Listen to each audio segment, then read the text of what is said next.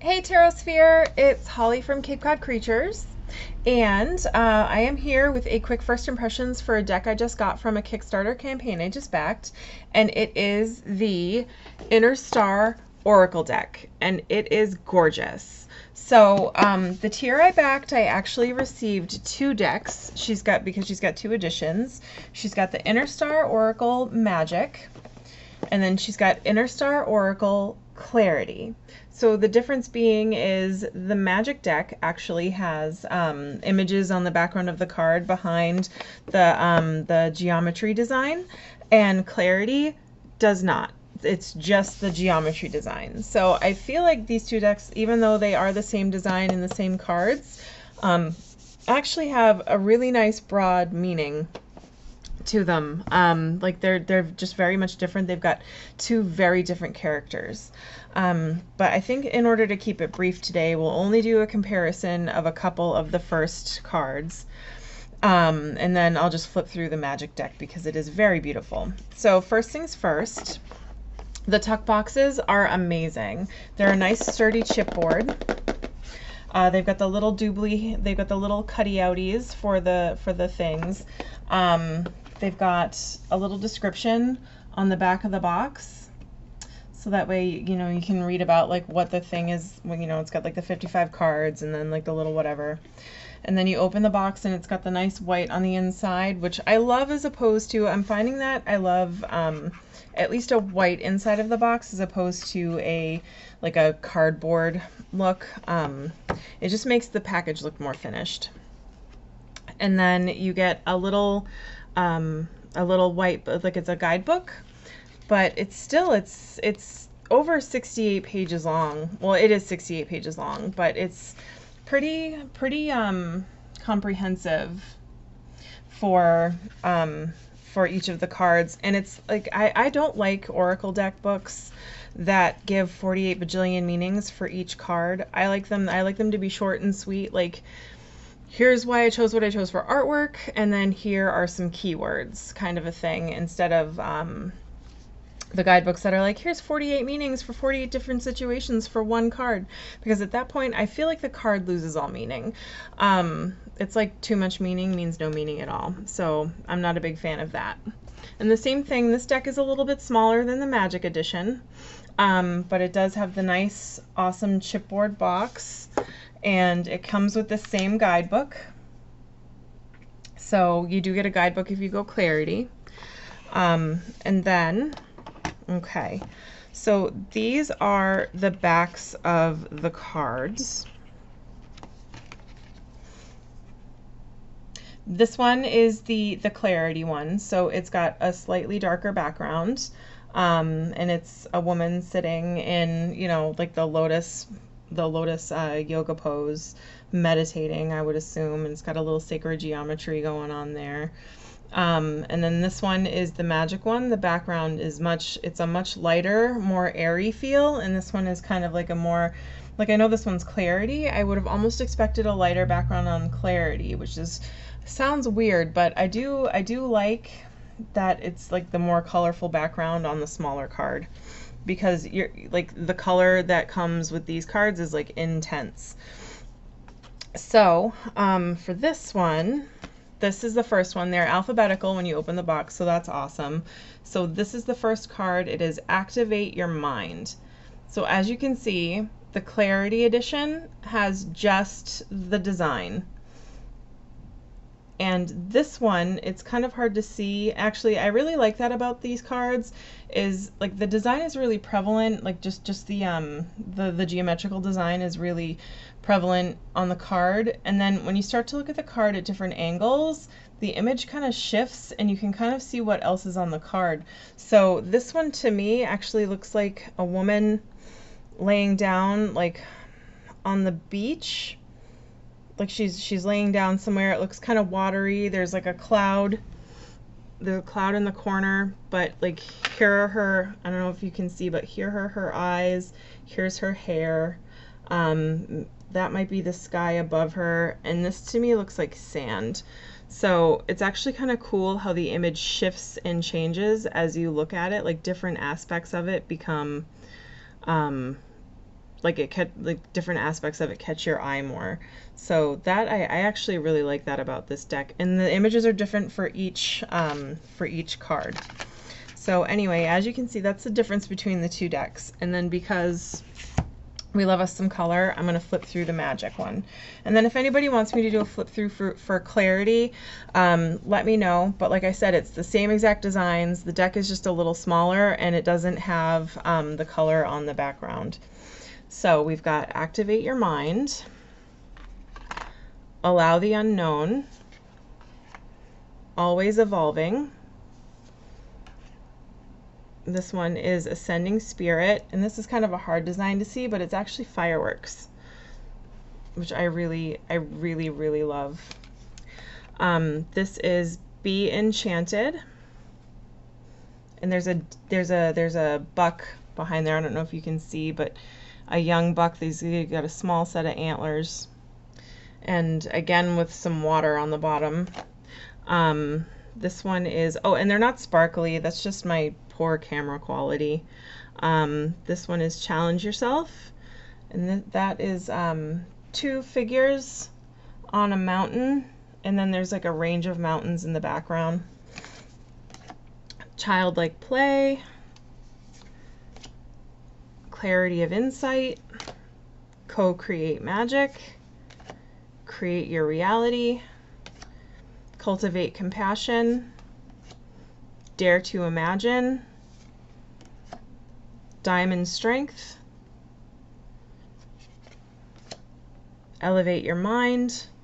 And then it goes on like that. Um, actually, this deck is actually very similar to um, well I'm not going to say it's very similar because actually I like it I think I like it much better than Sacred Creators. Um, this it's a lot this deck is a lot more accessible. This one is Embrace Change. It's kind of got the same idea though. It's it's a geometrical design, um, essential growth with a little like a key phrase on the bottom, like a self-helpy affirmation type of a phrase. Um, the difference here being is that there's actual like imagery and and like photography kind of going on in the background with the color.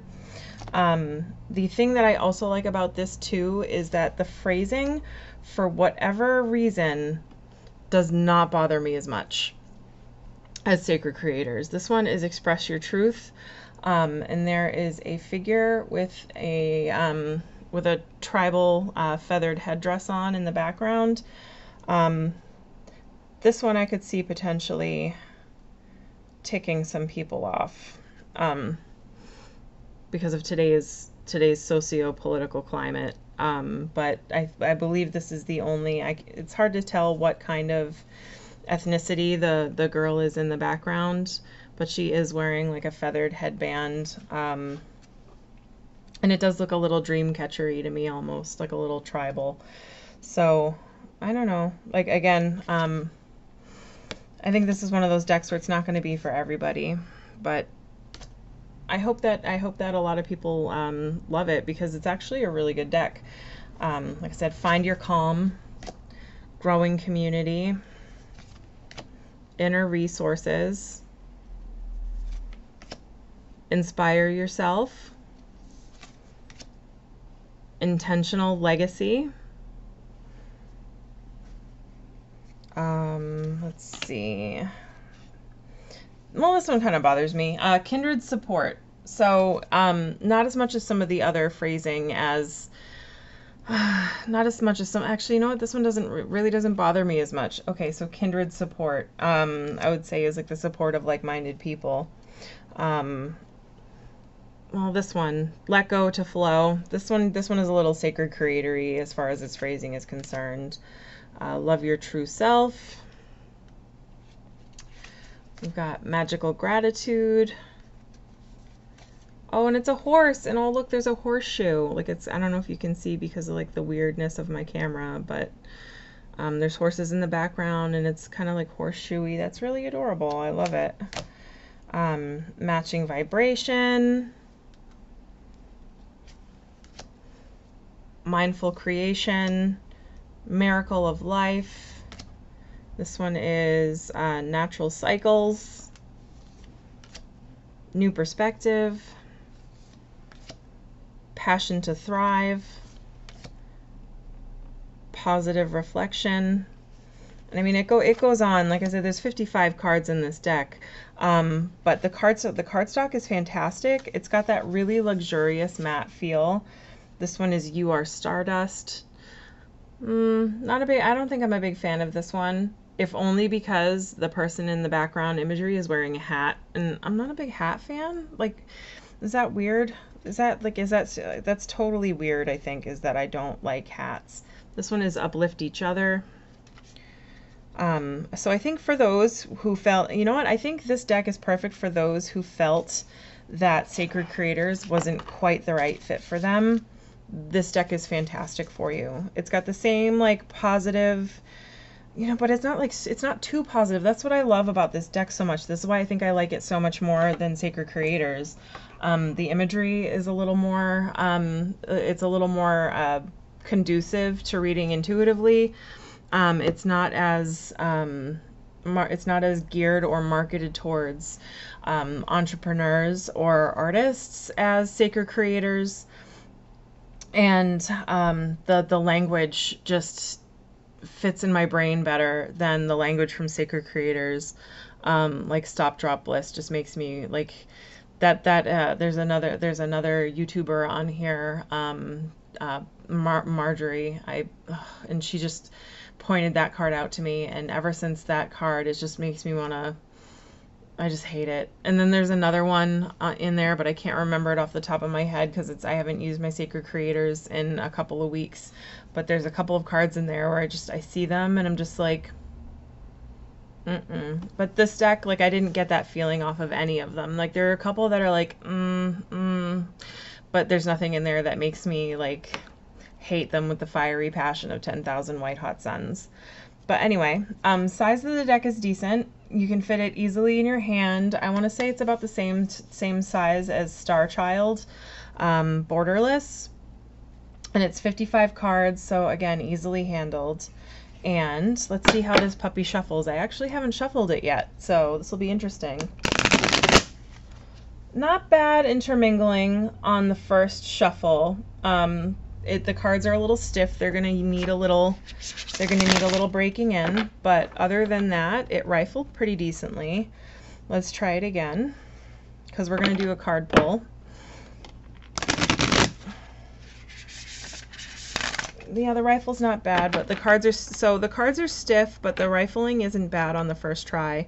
Um, they do feel like they hurt my hand a little bit though, because the cardstock is so thick. Um, oh, that's, see, that's a little bit better. Better than it was. So I think I'm going to do, I'm going to spend the day uh, shuffling and getting to know this deck a little bit better. But hand over hand, uh, really good because the cardstock isn't sticky, so you can easily hand over hand this one. Um, if you have smaller hands, you're going to have to do this deck the long way,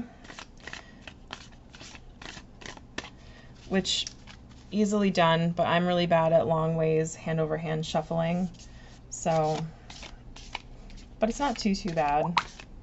And I have to say for a Kickstarter deck, this actually came really fast. I think it was out like a month, month and a half after the pledge, the after the um, pledge period had ended.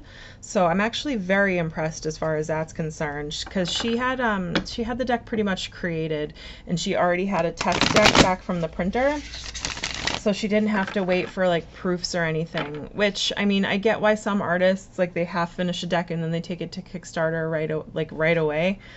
But um, I love that she had the project ready to go, so that way you didn't have to wait for it. And I feel like more people should be doing it that way. Like the Brady Tarot, I backed that one. I'm super glad I did. Waiting for it and and following the follow I've been following her Instagram for updates and that's been fantastic. And I get that she's a person and she has a life, but like I can't wait to get that tarot deck so much that anytime she posts anything that isn't about her tarot deck, I kind of it kind of drives me a tiny bit crazy. I'm almost like, why aren't you working on your deck? like I cannot wait to have it. Um so I love that I love that Jo had the deck ready to go basically. Um, she did do five extra cards for the like as as stretch goals, which is really cool, and all of them were so there were five five to add. All of the stretch goals were met. Um, so we got the five extra. Um, I'm not sure which ones they are in the deck though. You know what? I'll have to ask. Maybe I'll put it in the doobly doo later.